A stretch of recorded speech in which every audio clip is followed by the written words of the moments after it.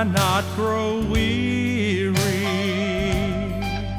For I, your God, will be your strength.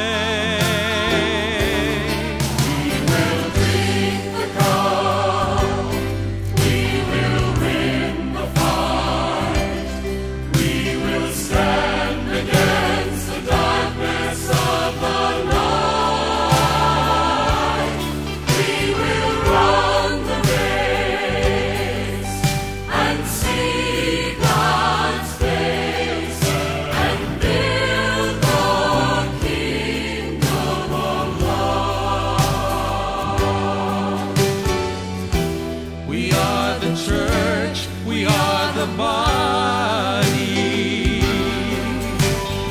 We are God's great work of art.